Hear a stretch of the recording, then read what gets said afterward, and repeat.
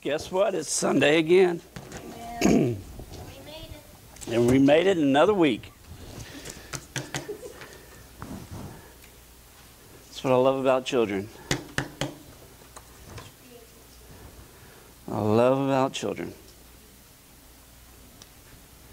Today's message title will be Life's Footnotes. If you look in Romans chapter 3, verse 23, very familiar verse here, it says, For all have sinned and come short of the glory of God. Throughout life, we look at and we encounter people on a daily basis, but a lot of times, especially whenever we first meet them, we form an opinion of them. If you would, let's call it a footnote today. And my question will you, for you will be at the end of this message what's going to be your foot, footnote for other people? Now, I'm going to take five characters or five people out of the Bible, and I'm going to demonstrate what their footnotes look like at the beginning and how we would probably form the same footnotes if we were writing the book. And then you're going to find out what God's footnote is on their lives. And you're going to have to compare well, what was your footnotes compared to God's footnotes? And then at the end of the service, you're going to have to write your own footnote. And then you're going to compare it to what God wrote for you. So let's just go ahead and dive in. Very familiar character. The very first one is going to be King David. And as we see, King David committed sins of adultery, sins of deception, and murder in the story of David and Goliath, or David and Bathsheba. David became afraid and ran from Saul. David also had eight wives. Now, when you look at David's life, a lot of us, the first thing that we think about is David and Goliath. All right? But then it goes downhill from there. Okay? Then we start reading about this, you know. He meets Delilah, commits the sin of adultery, deception, and even has Bathsheba's husband killed. Didn't stop there. David was going to be running from the king Saul at that time, and then David also had eight wives. Now, that's just the highlights, that's just the footnotes of David's life. Okay? But let's see what the scripture says. In 2 Samuel, verse 12 and verse 13, David said to Nathan, I have sinned against the Lord. And Nathan said to David, The Lord also has put away your sin. You should not die. Now we're going to go to Psalms 51, verse 1 through 4. Have mercy on me, O Lord, according to your unfailing love. According to your great compassion, blot out my transgressions. Wash away all my iniquity and cleanse me from my sins. For I know my transgressions and my sins is always before me. Isn't that so true? We want to forget our sins, but it's always right there in front of us. And that's what David is saying here. For I know my transgressions and my sins is always before me. Against you you only have I sinned and done what is evil in your sight. So you are right in your verdict and justify when you judge me. But then we find out that God makes him king and forgives all of his sins. Now we forget that David was just like us. I mean, he was a shepherd boy. I mean, he was not born into being the king. He didn't have the bloodline or anything like that. So he had a rough life. He really did. We can go into great details, but because of time, we won't. But David faced what we faced. He faced sins. All right?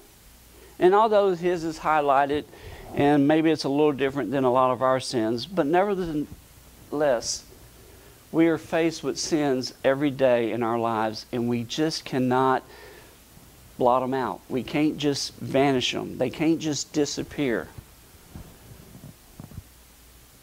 David faced the same thing. But we've got to realize that those sins, when you ask Jesus Christ in your life, they're washed away. All right? They're no longer there. You're cleansed. David repented, asked God for forgiveness, and God forgave all of his sins. God went on to use him in mighty ways to glorify his name. Now that ends King David, but let's go to the Apostle Paul.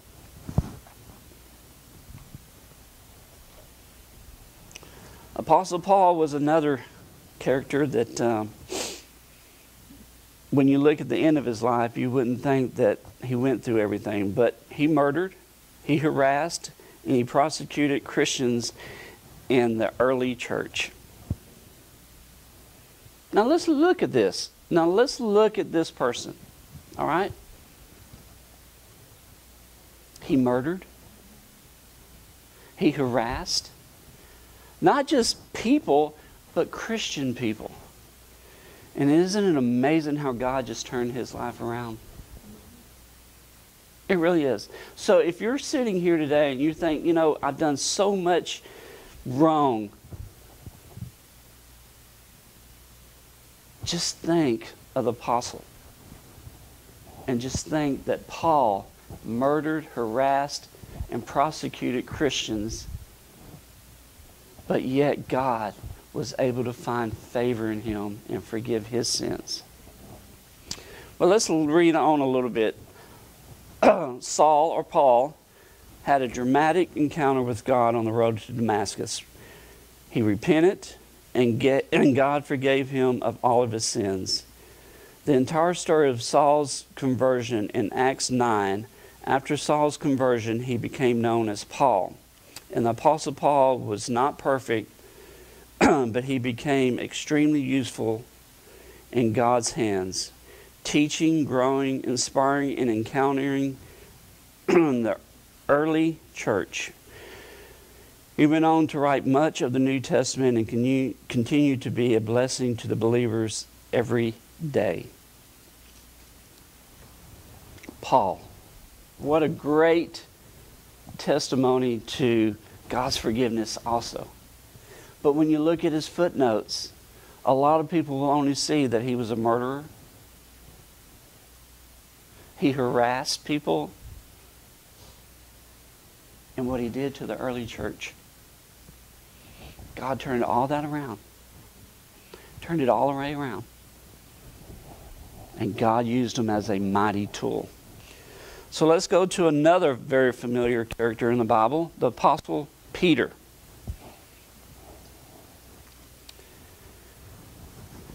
Very familiar here. We talked about it a couple of weeks ago. He denied Jesus the first time. He denied Jesus the second time. He denied Jesus the third time.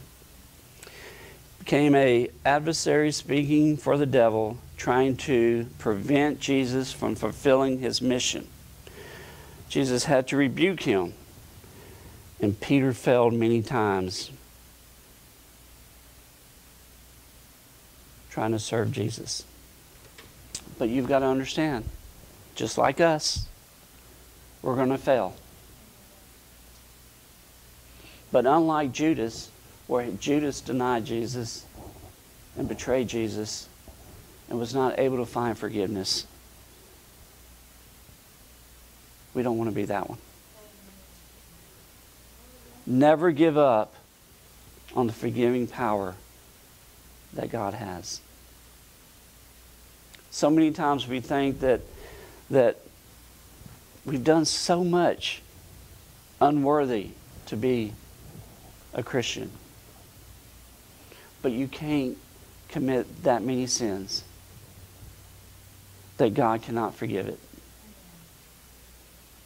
When there's no hope and there's nothing but despair, you have nothing. So always keep a little hope. All right? Be a footnote that there is a hope in my life. We struggle so many times to forgive ourselves. But it's not about you forgiving yourself. It's about God forgiving you. Okay? That's the hope you need to hold on to. Forget yourself. Quit being so selfish and holding on to your sin. Who wants to keep that? But yet we do. You got to realize that's not you. Well, I mean, in a way it is, but it, it's really Satan just bringing in remembrance every time you open the door of what you've done wrong. And if he opens that door and you leave it open, man, don't expect him to get tired and leave because he's not. He's going to stay, he's going to take his shoes off. It's kind of like that mucus commercial. I know, it's disgusting. But just think of Satan in that. You know, coughing up that sin all the time. It's not a pretty sight. I don't even like the commercial, but I kind of get it. But that's exactly how Satan is. All right? Just take a little bit of Jesus. All right? Take a little bit of that Mucinex. Jesus will clear it up. He won't bring it up anymore. Okay? Just remember that. Okay, let's go to this is one that we don't talk about hardly ever. All right? You know who I'm talking about? Rahab. This is a character that pre- preachers do not like to say and words that preachers don't like to say behind the pulpit. But she was a prostitute. She sold her body. She was dishonest and she had a sketchy background. All right. I got a sketchy background. I didn't do prostitution. I didn't sell my body. But I had a sketchy background. But don't judge me, so do you. And if you don't, just think about this. If you're not willing to stand up here and tell you and tell the congregation everything that you have done, you just define sketchy. so I have a sketchy background, okay? and so do you. So I won't hold it against you and I won't judge you. I'll leave that strictly to God. But I expect the same compassion and the same thought for me. Okay? I'll mind my business, you'll mind yours. But you'll pray for me, just like I'll pray for you. Okay, let's just see what the Word of God says about Rahab. She was used by God in a mighty way. She demonstrated great faith and helped the people of God. She's listed in the Hall of Faith, and she's listed in the direct lineage of Jesus Christ in Matthew chapter 1, verse 5. But let's turn to James, second chapter, verse 24 and 26. We're going to read this out of the NIV. You see that a person is considered righteous by what they do and not by faith alone. In the same way as not even Rahab, the prostitute, considered righteous for what she did when she gave lodging to the spies and sent them off in a different direction. As the body without the spirit is dead, so faith without deeds is faith. I mean, is dead. So, how do you interpret that? Simple. Simple.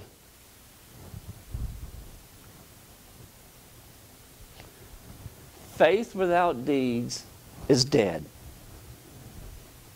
All right, let's just say we have faith. You got to do something with it. You just can't keep it to yourself. The hardest thing is to understand what faith is and then how to distribute that to other people. And it's just like the Bible. Okay, a lot of people don't read the Bible. A lot of people have Bibles, but they just don't read them. Right? And we've all heard the cliche that the only Bible people are going to see is you.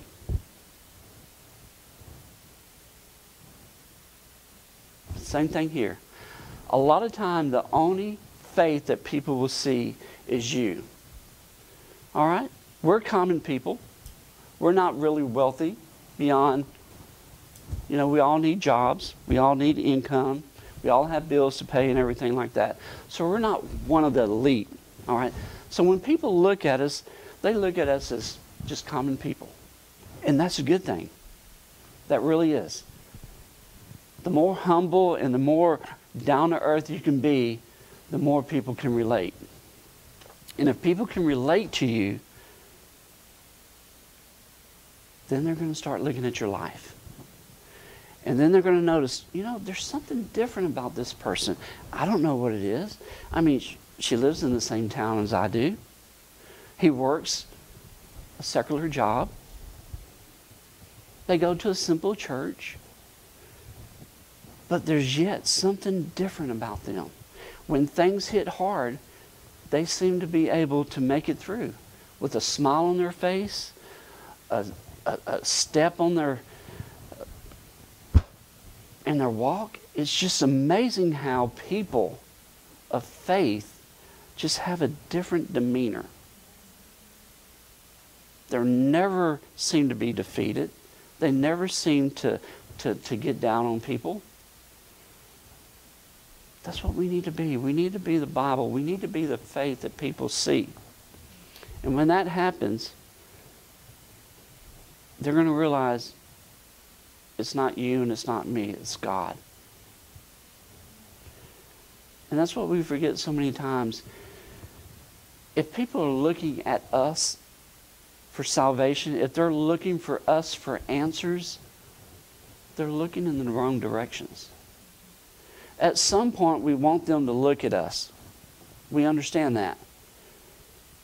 But then we have to transform from them looking at us to what holds us, which is God. So we've got to be able to be smart enough and intuitive enough to say, you know what? Yes, it's God inside me that makes the difference. You know what I'm saying? It just is. You know, you can look at someone and, and, you know that they're struggling with something. You don't know what it is, but you can just see that facial expression. All right? And instead of putting a footnote in their life that they're beyond reach, uh, all they do is sin. They don't go to church. They don't do this. Well, let me tell you, just because you go to church, you think you're, you're, you're in some kind of Mickey Mouse club here. There's probably more sin in church than there is out in the world. Jeez, Brother Robert, why'd you say that?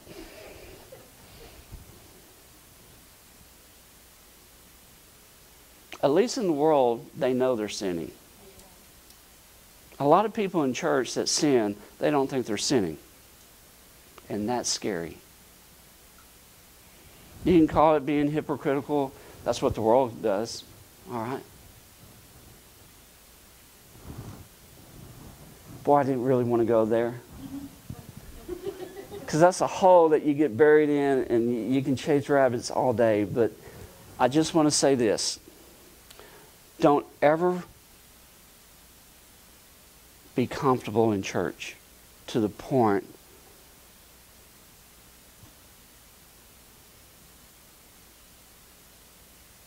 where you stop looking at your life. Because if you stop looking at your life, you're going to look at something. And chances are you're going to start looking at other people. And then when you start looking at other people, all right, you're going to start judging them. And like we say, this is a judge free church. We let God do the judging. Okay? We're too busy dealing with our lives to be able to judge your life. I know you get tired of hearing that, but we've got to drive that home. Because once we start judging people, it's a road you don't want to go down. You just don't. Let God do the judging. You just lift people in prayer. Never let it be said that Brother Robert judged that person instead of praying for that person. Because we don't want to be that way. I want to be known, you know, I was sinning. Pastor knew it. But he didn't judge me. He took me by my hand. He prayed with me. He didn't say, if you don't repent, you're going to hell. He showed me God's love. And because He showed me God's love, I found salvation. And that's all salvation is, it's God's love. And accepting that God loves you. We think it's some big ordeal, and it is, but yet it's not. Because once you realize that God loves you, you've got the answers to every need in your life.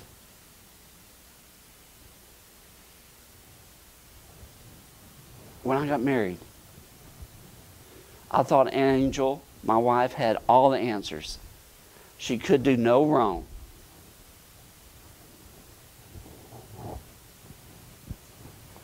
Was I wrong?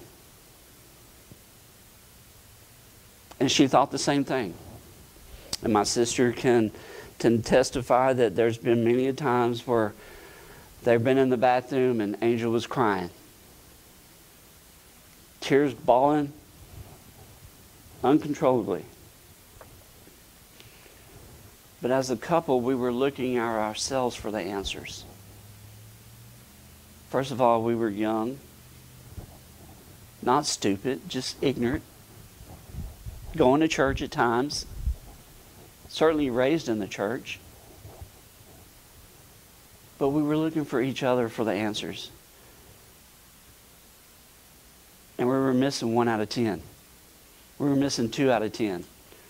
And then it was nine out of ten. And then before we knew it, we were, we were, we were given Satan's answers instead of God's answers because we were depending on ourselves.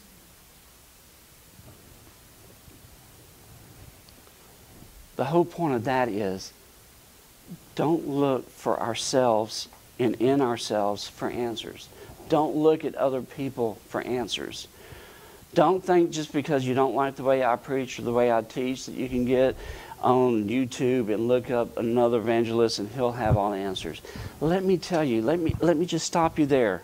There's no evangelist, there's no preacher that has the answers. God has the answers.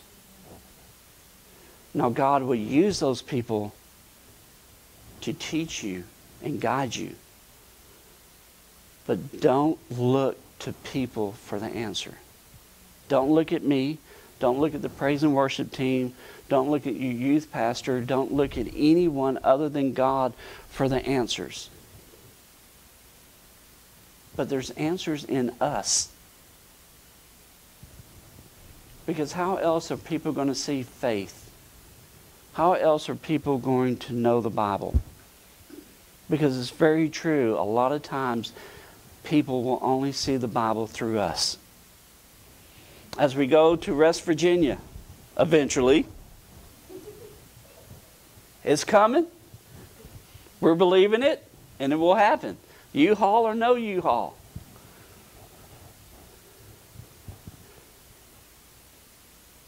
It's going to happen. We're going to look back there and we're going to see, or we're not going to see Sister Blue or Brother Jake back there. But I tell you what, you know what I'm going to do? Those days that I I look back there and I see that pew or that spot empty, I'm going to look up here. And I'm going to look at this. Excuse me, messing it up. and this is going to be a remembrance, a seed planet, a ministry planted. So they will always be with us, they'll always be a part of us. This is their footnote for us. And what a wonderful footnote. Now, there's other things. I mean, their, their laughter, their shaking of the skirt up here. Only some of y'all know what I'm talking about then. But that's the kind of footnotes I want to put on that family. I want to look at Matt and Aaron, and I want to put a footnote on there. That Aaron can always make you laugh. Always make you laugh, even when you don't want to. If you haven't experienced that, just go to Sister Jeanette's house whenever they're eating and listen to her have a conversation. And I guarantee you, you will laugh.